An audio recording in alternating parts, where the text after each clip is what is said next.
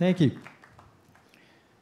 Well, now, this is the part of the cruise where you get to give your brain a rest and just have some fun. Isn't it a great, a great cruise? I, having access to these uh, amazing, intelligent people is just fantastic. But uh, for now, you just have me. There was this young man, and he was on trial. And the uh, judge was chastising him. He, he was saying, How could you possibly justify such a terrible deed, killing a California condor? There are only 28, well, there are only 27 of them left in the wild. What could possibly have been going through your mind to allow you to do such a heinous deed? The young man said, Your Honor, I was camping. I was lost in the wilderness. And as I laid there, uh, this giant buzzard landed on top of me. I must have looked pretty bad and started pecking at me. And with the last ounce of strength in my body, I picked up a rock, I bashed him in the skull, and I ate him. It was a matter of sustenance, it was a matter of survival. And the judge said, Well, that's a pretty good explanation. I may just uh, let you off. Just out of curiosity, what did it taste like? And he said, Well, it was kind of a cross between a bald eagle and a spotted owl.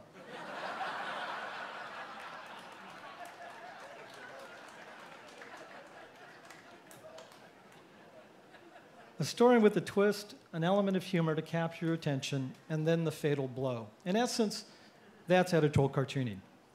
When people ask me what is an editorial cartoonist, I always say, well, we're a hybrid. We're a cross between Edward R. Murrow, Ted Koppel, and the son of Sam.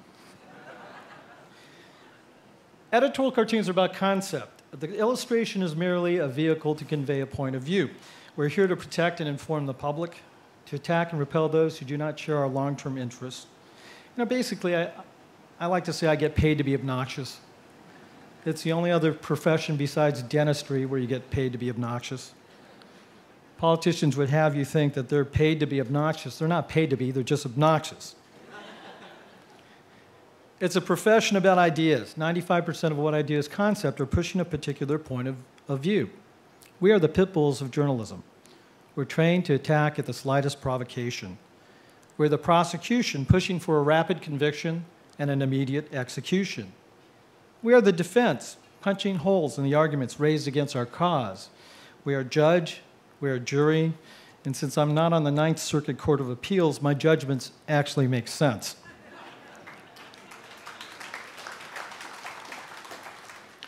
We stand in judgment over the issues, and the sentence that we levy is swift and harsh. But in order to be judge and jury, you have to read and research, to digest the complex issues and bring some semblance of order to them. So, clearly, I'm one of the most boring people in the world. Uh, I start the day around 5 o'clock. In my capacity as a senior editor at Investors Business Daily, I'm not only the editorial cartoonist, but I co manage the, the editorial page. So I start preparing for our editorial meetings around 5. And then um, I watch the news and see what's being absorbed in the American consciousness about every half hour. Um, I read four papers a day. I, of course, read the National Review. Um, I read the New York Times and the Wall Street Journal. A lot of people say that the uh, truth lies somewhere between those two editorial pages. Actually, the truth lies in the editorial pages of Investors Business Daily. Thank you. You know, and if I want a good laugh, sometimes I'll watch MSNBC or read The Nation. I think it's important to view the issues on the broadest possible uh, reference plane. In fact, if you firmly believe in an issue, I, I urge you to read the opposite of it. I think most of the time it'll merely reinforce your original beliefs, but every once in a while, on the rare occasion, you might change your mind. And either way, you have a larger and more comprehensive view of the issue. I believe it's important to understand all sides of an issue, and that entails knowing the contrary point of view. I'm a firm believer in the statement, known thine enemy. So that's why I watch C SPAN. Now, editorial cartoonists, you see, we spend our time gathering information, we process the information to draw a conclusion, to draw a cartoon, and hopefully, if it's done well, to draw blood. Now, unfortunately, in the modern trend in editorial cartooning has been to make simple jokes about uh, current affairs and I think humor without substantive statements diminishes the importance of an editorial cartoon. An editorial cartoon is not just a funny picture. A good editorial cartoon is a fine instrument of journalism. At times, it's sharp and refined, its message cutting quickly to the point, at times blunt, with its dark imagery seizing the reader's attention. As with any editorial, the most important element of it is the message. It defines an issue, it challenges hypocrisy, it reveals the best and worst of humanity. It calls the readers to arms against the complacent, the lethargic, the evildoers. And by that I mean the Obama administration. and the indolent body politic and the champions of the status quo. It exposes the assorted predators of society.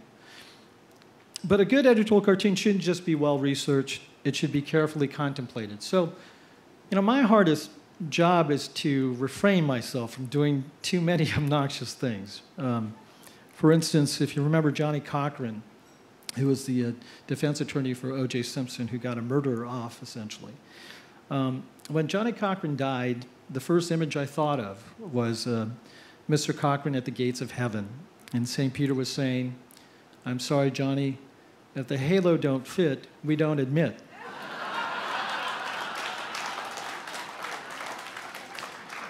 Now, that's a pretty straightforward cartoon. But as I started doing more research on Cochran, I realized there was a whole other side to this man. He'd been very, very generous and engaged in many charitable causes. And it kind of seemed unfair to define him with one case. So I didn't do the cartoon. In the Declaration of Independence, Thomas Jefferson wrote, We hold these truths to be self evident that all men are created equal, that they are endowed by their Creator with certain inalienable rights, that among these are life, liberty, and the pursuit of happiness. But while these rights are indeed endowed by Creator and guaranteed by our Constitution, it is government that upholds the liberties and it is men who constitute the government. There are those who believe the Constitution is merely a starting point for negotiation. James Madison wrote, I believe there are more instances of the abridgment of freedom of the people by gradual and silent encroachments by those in power than by violent and sudden usurpations. I think that's happening today. As they uh, destroy education and stop teaching what our constitutional liberties are, it's very easy to strip them away. Editorial cartoons are a check to the erosion of liberties and part of the first line of defense to the, advance of the, to the advancement of the unrestrained power of government. One good editorial cartoon can have a significant impact on the political dialogue of the day. If done well, it can influence those who govern to govern responsibly and expose them when they do not. We want to be the catalyst for thought. You know, Einstein once said, two things are infinite the universe and human stupidity. And I'm, and I'm not sure about the universe. Einstein was right. It is this axiom which makes political cartooning important. The people ultimately governed will make mistakes. They are human after all, or at least we think they're human. But history has demonstrated that those in power that power can turn leaders into monsters. So editorial cartoonists will gladly point out the shortcomings of the powerful in an effort to keep them human. Now, there's a reason our founding fathers included the right to a free press in the Constitution. Information is a necessary component as a guide for you in a political system based on self governance and individual liberty and responsibility. A free press, press should be a check on government, but unfortunately today, the only people that are more incompetent than this administration seems to be the Washington Press Corps. Now, a reporter's job is to be the purveyor of fact, to point out the injustice of the world and shine the hot spotlight of exposure, to wound those perpetrators with the truth. Editorial cartoonists, we just go back and shoot the wounded. Now, I want to make a distinction here between the objective uh, news reporting and the subjective editorial page. I always find it funny when people call me up and, well, they, they don't call me Mr. Ramirez, they call me other names, but uh, they say, you're way too opinionated. And I have to explain to them, well, you know, that's, uh, that's why I'm on the opinion page. but you know what? I realize these days it's hard to distinguish between the two. That's the failure of today's journalism The truth is, the mainstream media does an awful job, which is why people trust the media even less than they trust politicians. And we know how much people trust politicians. You know, obviously there's a convergence of media when people are, where people are relying on the web for information, but I think the media has played a huge role in that. Why would anybody want to buy misinformation when real information is available free online? You know, there's, there's a widespread manipulation going on through the media. The mainstream media has been perpetuating a lot of myths and untruths to push a political agenda. Yeah, and it, occurred to me while I was watching the anniversary of the Berlin Wall. I'd just been there a week before the Berlin Wall fell, and then I was, year, I was there a year later. Um, and the difference was just amazing between the socialist environment and individual liberty and a free market capitalist system. But kids these days don't even know what the Cold War is. I think Reagan, you know, it, rem- it reminded me of Ronald Reagan. Uh, Reagan was perhaps the greatest president of modern times. And I think he provides us all a lesson in presidential leadership. You know, true is his oratorical skill that made him such a potent force, but it was his ideas and his unwavering belief in America, in America's greatness, that made him great. If you have ever been to the uh, Reagan Library up in Simi Valley, they show a clip of Reagan addressing a bunch of uh, cartoonists in the Rose Garden. I'm the guy in the third row, uh, right in front of the president. Of course, I had a lot more hair back then, but uh, you know, one thing I loved about Ronald Reagan was his sense of humor. He was essentially a political cartoonist with words, and um, I remember the joke that he told that day was about the differences between the United, the United States and the Soviet Union, uh, you know, democracy versus communism. And, and he said, you know, the difference between the United States and the Soviet Union is in the United States, political cartoonists can draw editorial cartoons of the President of the United States. In the Soviet Union, political cartoonists must draw editorial cartoons on the President of the United States.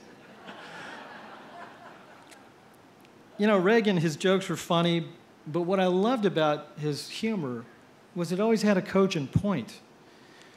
You know, take uh, the Cold War with the USSR. On March 8, 1983, Ronald Reagan declared the Soviet Union the evil empire. And the reaction was immediate. A blanket of condemnation rose from the political pundits and the mainstream media. Critics and conventional wisdom called Reagan's remarks unpresidential, it was an abrogation of diplomacy. They characterized him as a doddering old man barely in charge of his faculties, who was unaware of what he was saying, and, and much, much worse.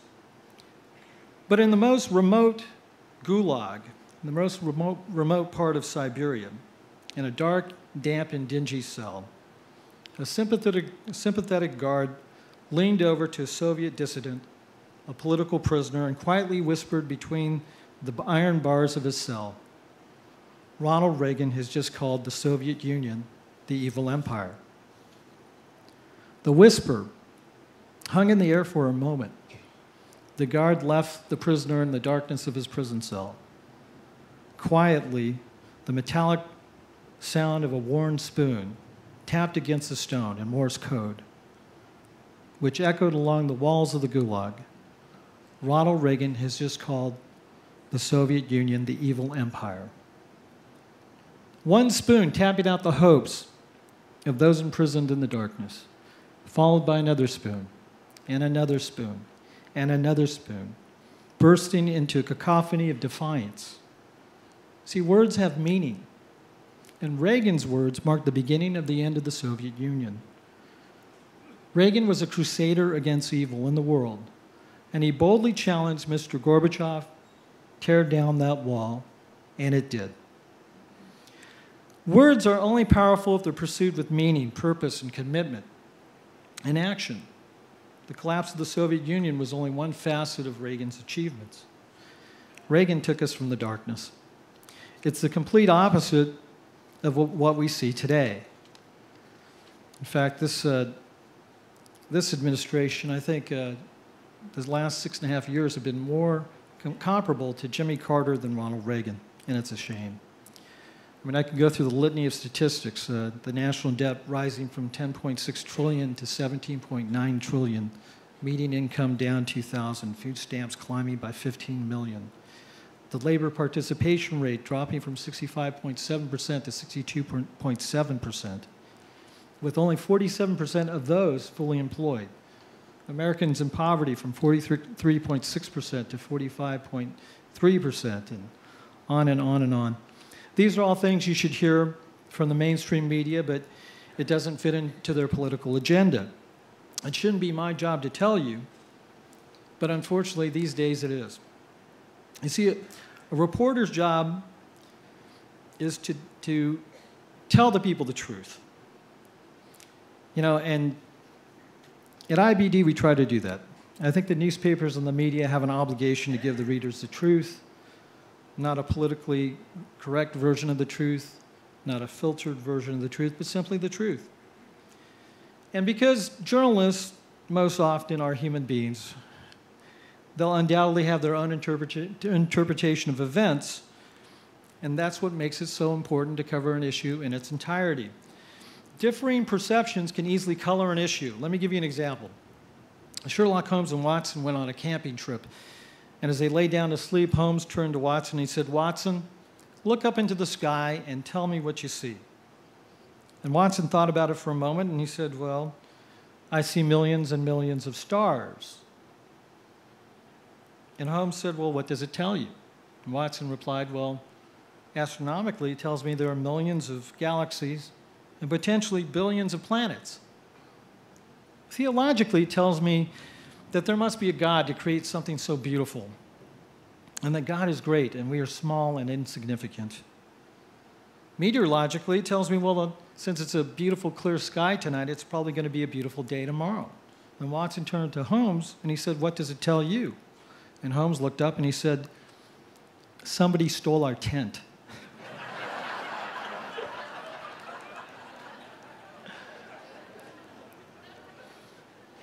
We have a participatory democratic republic, the best system of government in the world, truly a government of the people, by the people, and for the people, but only if the people participate. And that's what I try to do with my editorial cartoons, try to get them engaged. Now, let me tell you another story. Um, and if, you if you've heard my speech before, you've heard this story, but uh, I just love it. The story about a duck. This duck waddled into a store and he went up to the manager and said, uh, Got any grapes? And the manager looked at him and said, uh, No, I'm sorry, we have no grapes. Duck said, Oh, walked out. Ten minutes later, this duck comes waddling up to the manager and says, Got any grapes? The manager looks at the duck and he says, uh, No, I have no grapes. I have no food section. Duck goes, Oh, and walks out. Ten minutes later, the duck comes waddling in, goes up to the manager and says, Got any grapes? The manager says, What is wrong with you, duck? I have no grapes. I will never have grapes. Duck goes, Oh, walks out. Ten minutes later, the duck comes waddling. The manager goes, Hold it right there, duck. If you ask me for grapes one more time, I'm going to nail your little web feet to the floor. Ask me for anything else. Don't ask me for grapes. The duck looks at the manager and he says, uh, Got any nails? He says, No. Got any grapes?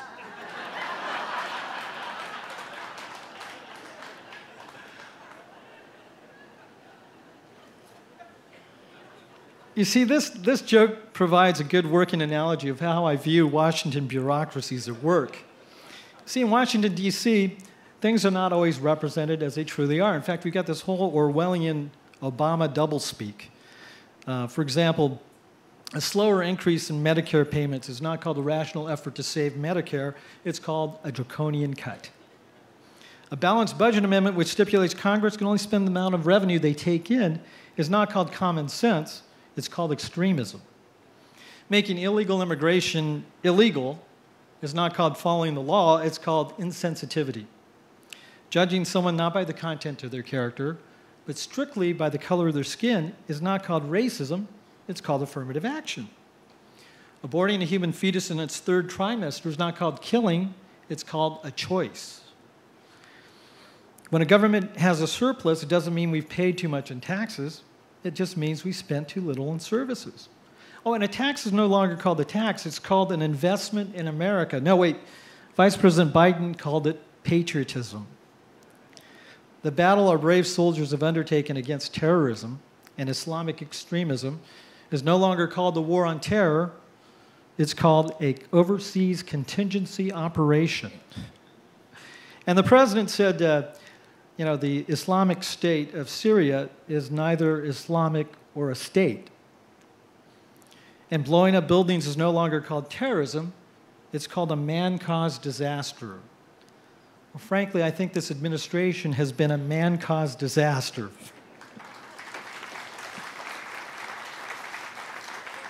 Now, I don't know about you, but I believe in the old adage if it walks like a duck and it talks like a duck, then it's usually a duck. As an editorial cartoonist, it's my job to nail that duck to the floor because someone needs to watch over the Institution for the Intellectually Challenged, I'm sorry, Congress, on behalf of the American public. See, politicians often forget who they work for. Because of the pomp and circumstance that surrounds these career political celebrities, we're lulled into thinking it is us who work for them, when in reality it is they who work for us. And editorial cartoons are there to remind them that they are the public servants, that they are elected to do your bidding, and they are far from infallible. See, the, the problem with this country is not that we pay too little in taxes, is that we support a government that's gotten too big and too intrusive.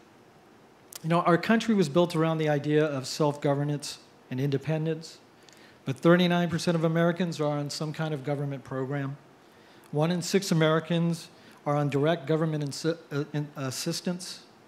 50%, well, actually 47% of Americans do not pay federal taxes. And in the last election, we had, well, not this last election, but the election before, we had less than 58% turnout of all registered voters. And when you think about that, that means the President of the United States was elected by less than 25% of the eligible electorate. Is this the America you want? It certainly isn't the America that Ronald Reagan envisioned. It's amazing when you look back into history at a small group of colonies united to fight taxation without representation. It's clearly evident now that we face the same challenge. This is a nation founded on the principles of limited government, individual liberty, self responsibility, and a strong national defense. I think past presidential terms hold the key to future presidential successes. George Washington once said, Government is not reason, it is not eloquence, it is a force like fire, it is a dangerous servant and a fearful master. Calvin Coolidge, John F. Kennedy, and Ronald Reagan found that the solution to our economic problems rested not in the government, but in the ingenuity of the people. They believed in the doctrine of American exceptionalism.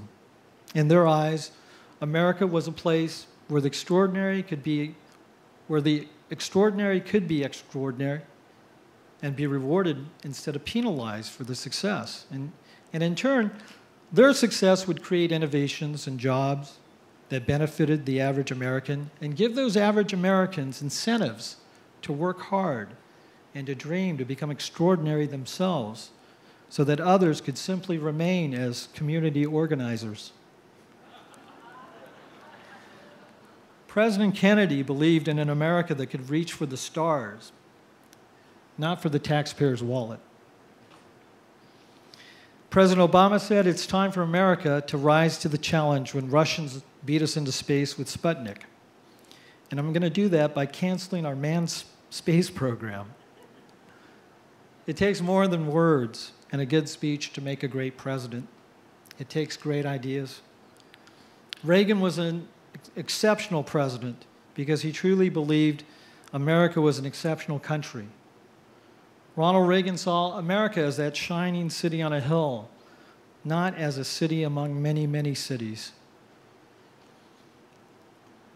So, my job essentially is to provide you with a concise message that can make you think about the issues and hopefully persuade you to my cause. So, I'm going to encourage you by showing you some of my editorial cartoons. Now, First off, I'm a capitalist pig, so this is my book. Please buy it.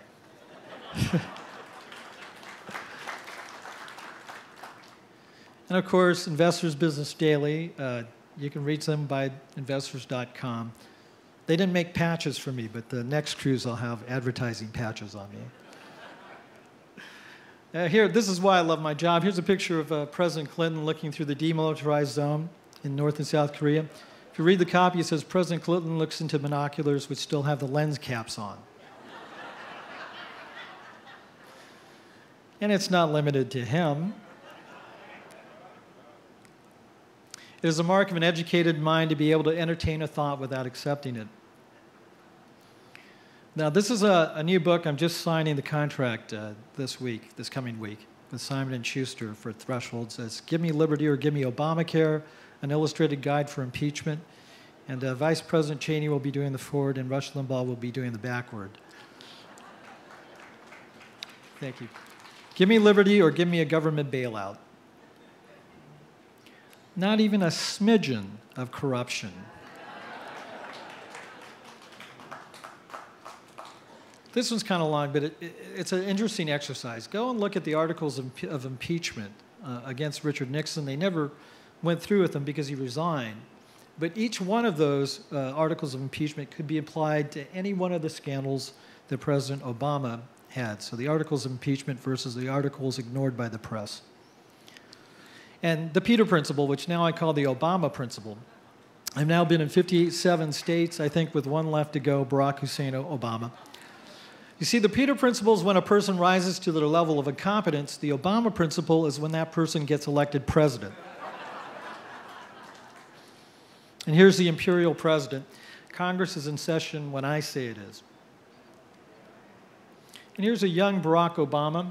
If you notice, all the problems, the answers are all government except for democracy is a form of social inequality.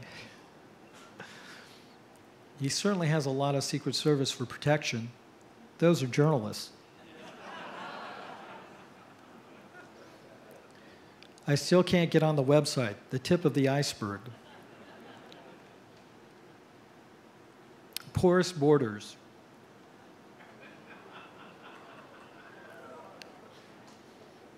Jimmy Carter, thank you.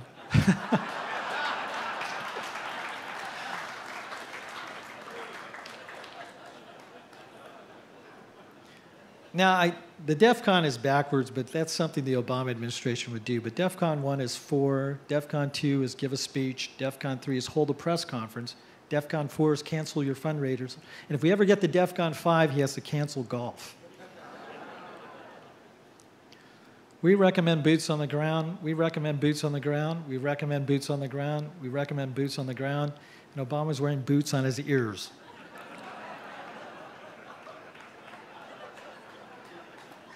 And if you, this is one thing I love to do um, in my cartoons, is I, I still think he smokes. So I always put ashtrays with cigarettes in there. And if you look at all the, the pictures behind him, they're all pictures of himself. Can you hear me now? Can you hear me now? Can you hear me now? Can you hear me now? Can you hear me now? Can you hear me now? Can you hear me now? And the NSA says yes. the selfie.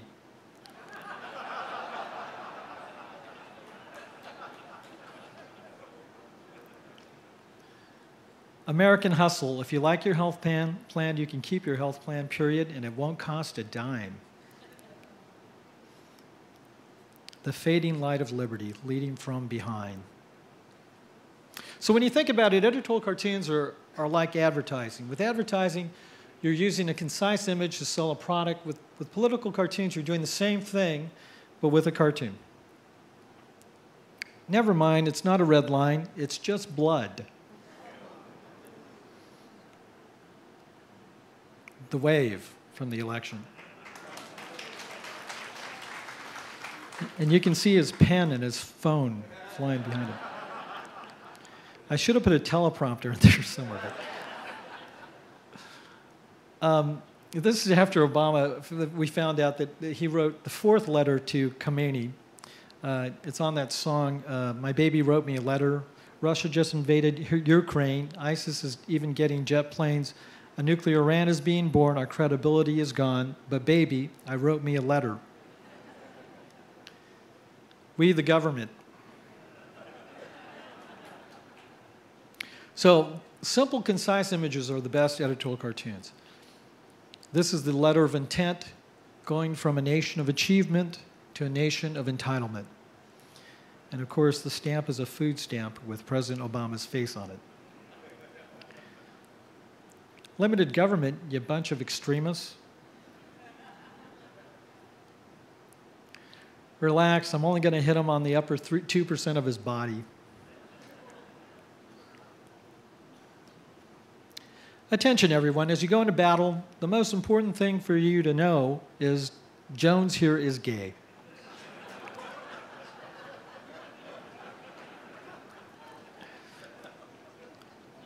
This is President Obama's green economy.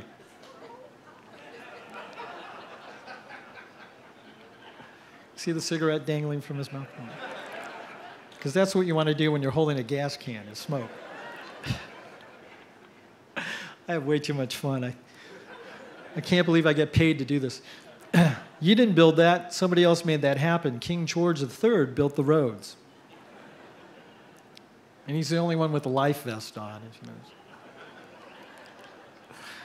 The media lapdog. Yeah, that is Chris Matthews. it was actually Obama who was feeling the tingling on his leg beating swords into food stamps. Mind if I play through? Good news, we have a ship full. Uh, we have a full ship, 7.1 million passengers on the Titanic. Someday, all this will be yours.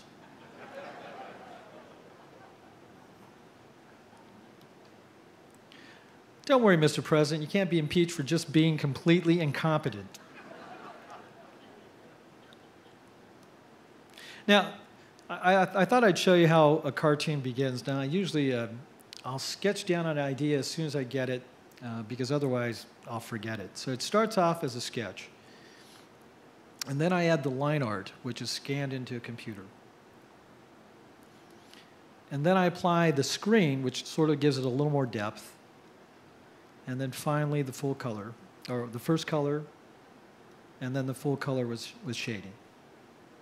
So since I co-manage the editorial page, basically I've, I have editorial meetings from 8 to 10, and then from 11 uh, on, I, I talk to our writers, um, start thinking about cartoon ideas, and then really from noon to 3.30 is when the cartoon gets done.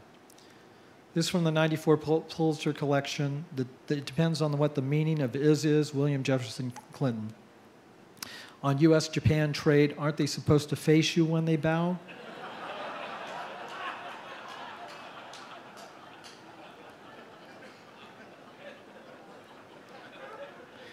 And in light of the modernization of society, we'd like to renegotiate the Ten Commandments down to four and a half. Moral values. If it were not for reporters, I would tell you the truth, Chester Arthur our moral fabric. This is one of my favorite cartoons because it's so simple. It's elegant in its design. It's very simple. You see the moral fabric unraveling. That's what a good editorial cartoon ought to be. I wish I could do that every day. Father, you can't say prayers during graduation ceremonies, but if you print them on condoms, we'd be happy to distribute them.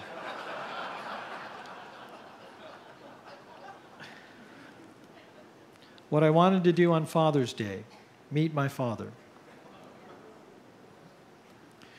Here's a black man with a black kid, a white man with a white kid. The black man's thinking white, the white man's thinking black, and the kids are saying, Look, another kid. Unsupervised children going into the grave of gangs. You two here to be married? Yes. Well, step up and be counted. Why society would try to impose its moral values on us is beyond me. It's perfectly natural for two people in love to want to get married. Your father should be proud of you. He is my father.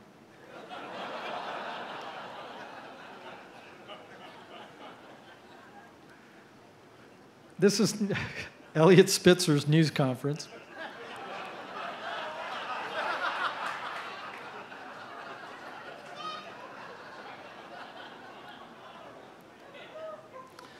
This is after the shooting in the schools. Um, that's why. Hollywood. You can fool all of, all of the people some of the time, and some of the people all of the time, but you cannot fool all of the people all of the time. Abraham Lincoln. In ancient times, people worshiped the stars out of ignorance. and could somebody please explain me that? Uh, what is that uh, reality show? The uh, the gals, Kardashians. Can somebody explain that show to me and why it has any appeal whatsoever? Yeah. Who would callously glamorize drugs and tobacco just for profit? Hollywood. Son, your father and I have decided not to let you watch television anymore because it promotes violence. Touch my remote and I'll kill you. uh, Michael Jackson, remember when he held the kid over the banister? Here's Michael Jackson. The kid was thinking, Michael Jackson's my father, oh, please let go.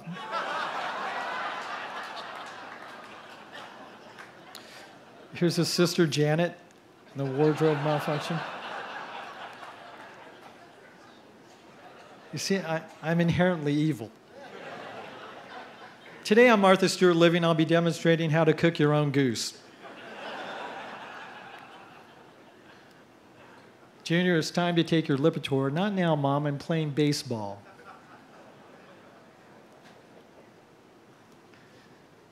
reality TV, TV, the voyeur. I, I just feel when you watch that stuff, it's like peeking into your neighbor's window or something. I just don't get it.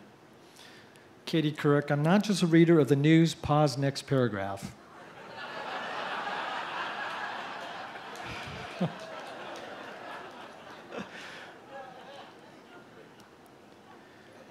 Here's when Sharyl Attkisson left CBS News.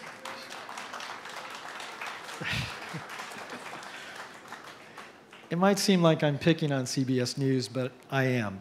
Okay.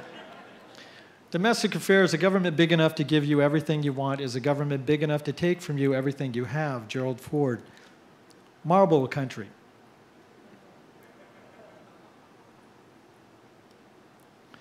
Because of the soaring cost of medical malpractice insurance, we don't have any doctors left. However, rest assured, we have the best lawyers operating on you today. Don't ask, don't ask, don't ask.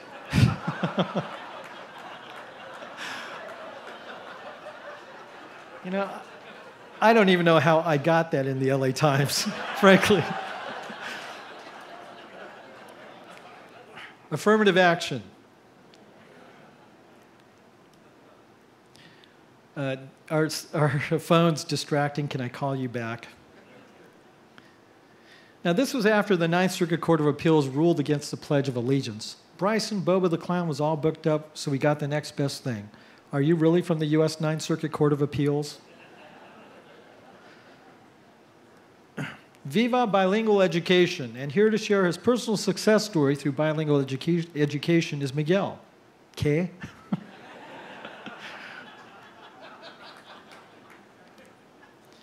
we need better immigration laws. Profiling is politically incorrect. Besides, they pose no real threat to us.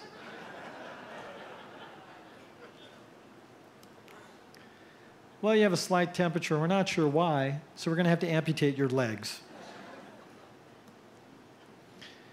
This is the entitlements. We have $128 trillion in unfunded liabilities and entitlements today Social Security and Medicare.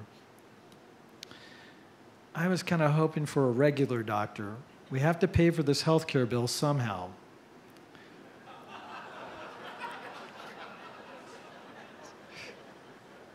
Do you see a little witch doctor? Yeah, okay. Freeze. Homicide, burglary, worse. Trans fat. Raise your hands and step away from the chicken.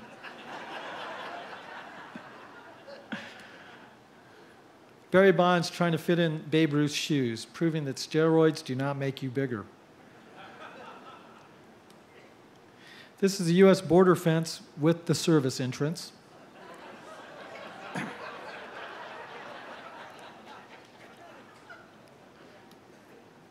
What do you call doing the same thing over and over again and expecting different results? California.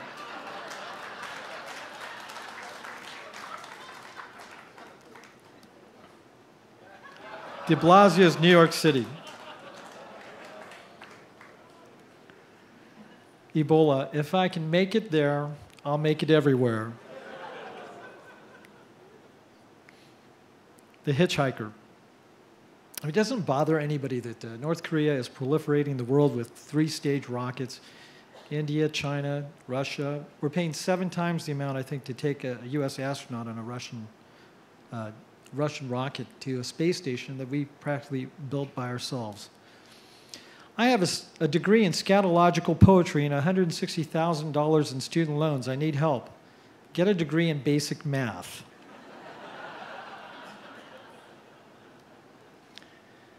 U.S. border, Mr. Border Patrol, tear down this wall. Global, cool, global cooling, global warming, climate change, climate disruption. It's called weather. Economics, the business of America is business, Calvin Coolidge. Saving Social Security. I just love the happy faces on the guys. Prescription drugs, well, don't just sit there, pay the man.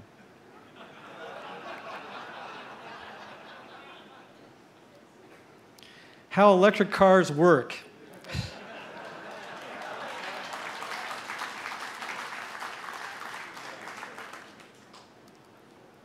I'm okay, I landed on a taxpayer. Made in China. I wish we had free medical care like in Cuba. I wish we had good medical care like in the United States. Speaking of releasing toxic emissions,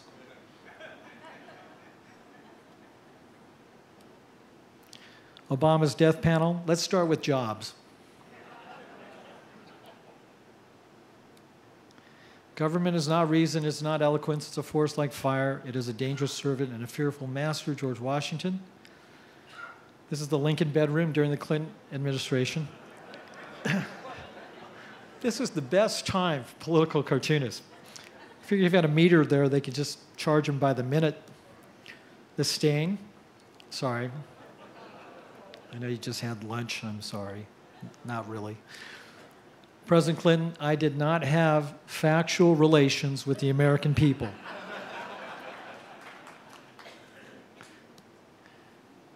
like I'm the one who needs to be neutered.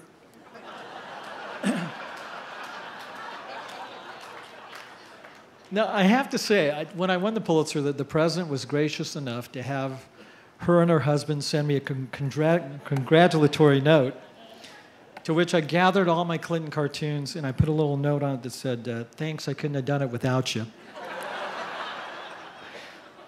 I thought it was funny at the time until I got audited four and a half months later.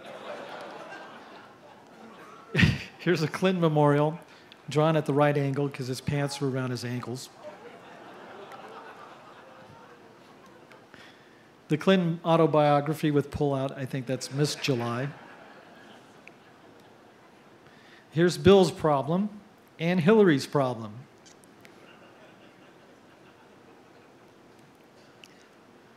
The U.S. Senate Republicans at the feeding trough. Now, there's a debate when Nancy Pelosi was Speaker of the House. She wanted her own form of transportation. I thought she already had it.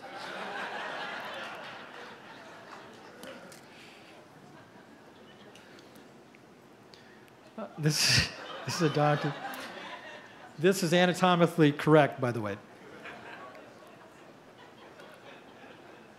The Mad Hatter. We have to pass this bill so you can find out what, what's in it. And this is the most ethical Congress ever, Nancy Pelosi. I'm sorry, Miss Warren, but Bolsheviks are not an Indian tribe.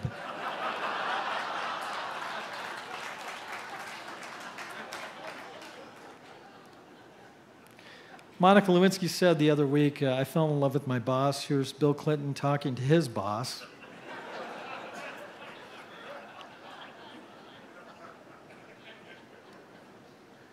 Presidents during a crisis, four score and seven years ago. Obama, four. Nothing brings out the lower traits of human nature like office seeking, Rutherford B. Hayes, departing of the GOP, John McCain. Kerry Sutra, The Many Positions of John Kerry. Is there anything in the wardrobe to make him look thinner? The answer Ronald Reagan 100 times. Dennis Kucinich, of course, they've seen a UFO. How do you think I got here?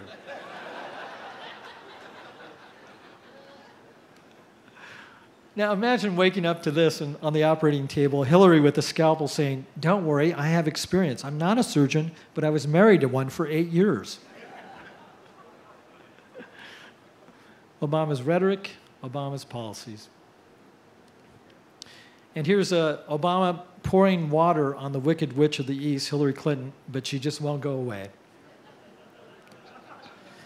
McCain, I can reach across the aisle to Democrats? No, Republicans. I was dead broke. That'll be $200,000, please. There's a Christie and the bridge is closed. The Democrats and Obamacare. Hillary Clinton's book, My Accomplishments, Chapter 1, The End.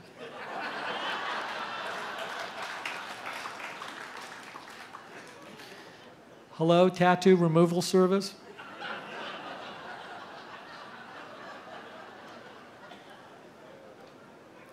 This is what I call the coyote ugly election, where you have to gnaw your arm off to get away from the person you're with. Did you vote for Obama? I cannot confirm or deny it, but let me just say my campaign has been clear on the issue of the question. Do you think voters are stupid? I cannot confirm or deny it, but let me just say my campaign has been clear on the issue of the question. I was named after Sir Edmund Hillary. Of course, he didn't climb Everest until five years after she was born. In Bosnia, we landed under sniper fire. I learned how to make a killing in futures by reading the Wall Street Journal, the reset button. Benghazi was caused by video. I was dead broke. I didn't really mean businesses don't create jobs. What difference at this point does it make? World affairs, we're a nation that has a government, not the other way around, and that makes us special among the nations of the earth. Ronald Wilson Reagan.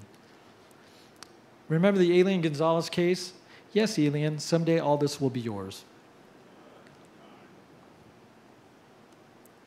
Is, Ru- is Russia reverting back to Soviet style oppression? You're darn Putin.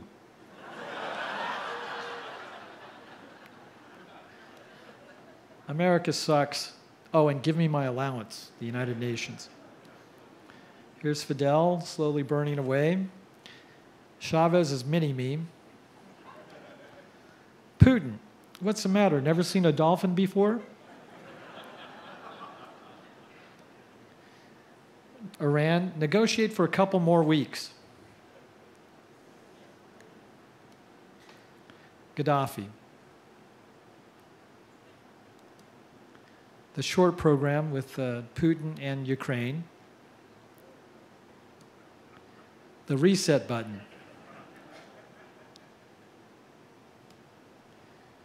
Iran. Now I got a lot of a lot of threats from this, but I gave him Jack Fowler's address. So, Assad, you were saying, the fat lady, the threat to America, Obama's feckless foreign policy. To the Foley family, I want you to know all my thoughts are with you. And he's got his driver. If civilizations to survive, we must cultivate the science of human relationships, the ability of all peoples of all kinds to live together in the same world of peace. Franklin Delano Roosevelt. Here's the first intifada.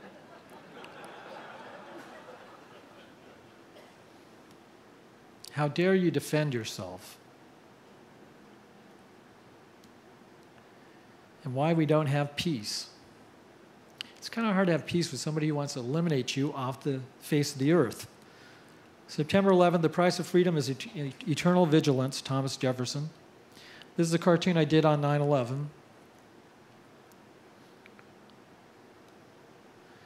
The lack of coordination between the intelligence communities. I got it, I got it. Frankly, I can't think of a bigger threat to America than the assault on our civil liberties. This moment must never be forgotten. Hey, dudes, what's up? Can you believe it took two hours to get through airport security? Stinking Patriot Act. And what's with this 87 billion for Iraq? What you doing? You had to say you would do anything to feel safer.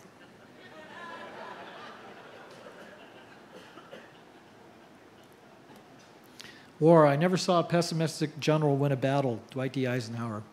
Now, this is my favorite pre Iraq war uh, cartoon. It's a, uh, Saddam at the psychic. She's looking in the crystal ball and saying, run. it's totally unrealistic to turn over power to the Iraqis in 30 days. The French ambassador, why? We turned over our government to the Nazis in under 30 days. Got Saddam. The case against Saddam, composed of dead bodies. 50,000 reasons why the world is better off without Saddam Hussein. I, I went to the Ba'athist headquarters in Baghdad when I visited the troops. Each headquarters had their own swimming pool, but they never used it for the community. They used it to torture and execute people, and there's still blood, blood uh, stains on the tiles. He was a horrible human being. The world is better off without him. Catching bin Laden, Uh, Iraq, don't forget your golf clubs, Mr. President. Don't worry, these cuts will just make you leaner. Meanwhile, the doctor who identified bin Laden for the CIA still sits in a Pakistani prison. Kerry, the U.S. would like to know how Iran can help us with, with these Iraq, Iraqi insurgents. Well, we can threaten them with nukes. This is from the 2008 Pulitzer Collection. One of the great things about books is sometimes there's some fantastic pictures, George W. Bush. I have no idea what it is, but I feel strangely attracted to it. This is, uh, I looked the man in the eye. He, I was able to get a sense of his soul. Bush on Putin. I think Putin was wearing contacts that day. Whatever the cost may be, we shall fight on the beaches, we shall fight on the landing grounds, we shall fight in the fields and in the streets, we shall fight in the hills, we shall never surrender. Harry Reid, run away. Social Security again. Excuse me, but I'm, I'm going to need that to run my car. The Great Wall between uh, product safety inspections and factories in China. Hillary Clinton, I pledge no more personal attacks on my drug addicted, possibly Muslim opponent. A tribute to the heroes in the California firefight. Uh, firefight. The CBS anchor.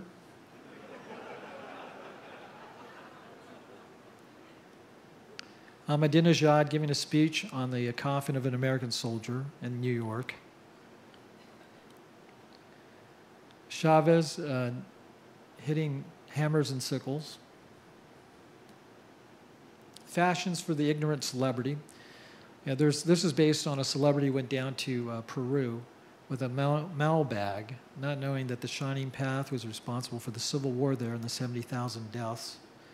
You know, images and words have meanings. For the last time, if you don't tell us where you planted the nuclear device, we'll have no choice but to appoint a lawyer for you. The ATM and the AMT, taking his wallet. Now, I love this cartoon because it's based on something uh, Sheryl Crow actually said. Uh, meet Sheryl Crow. She uses only one square of toilet paper per bathroom visit to fight global warming. And she's holding her hand out.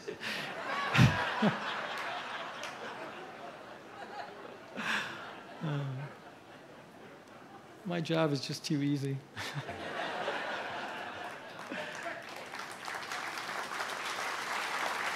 Thank you.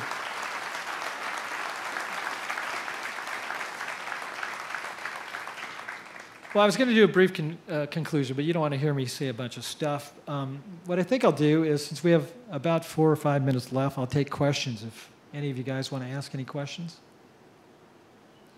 Otherwise, let's get on with this great cruise. Yes.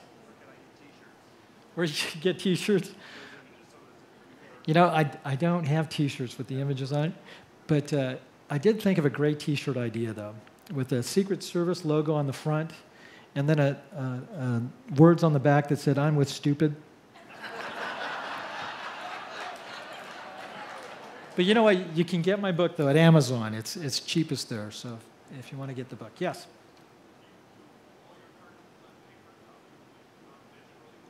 Uh, no, you can find it at investors.com slash cartoons. Mm-hmm. Oh, yes, and of course, with the National Review. Yes?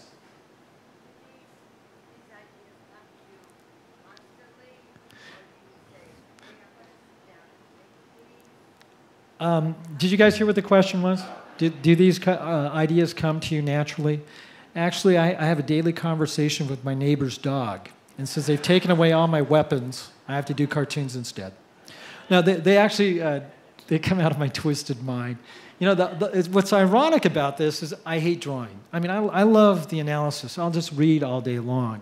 My fiance can tell you how boring I really am. Um, I love the, the creative aspect of the job when you come up with a visual metaphor. I mean, it's kind of a challenge every day, although with this administration, it's more like stenography than anything creative. The hardest part of my job is, is narrowing it down from the 15 ideas I come up per day down to just one or two. Uh, and then I hate drawing it because it never comes out as good in my, you know, as, as it does in my mind's eye. And uh, because of my limitations as an artist, I can't do some of these really wonderful uh, ideas that I think of, which is probably good. It'd probably get me banned somewhere. Yes?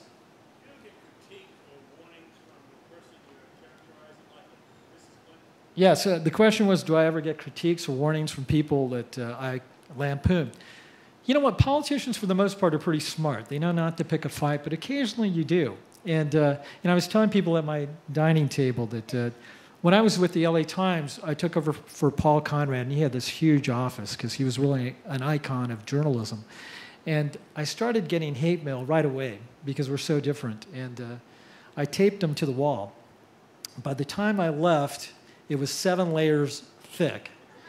And, and you know, occasionally you have to uh, you have to forge some of this stuff because you'll you'll get these meticulous hate mail where people cut out letters and just glue it together.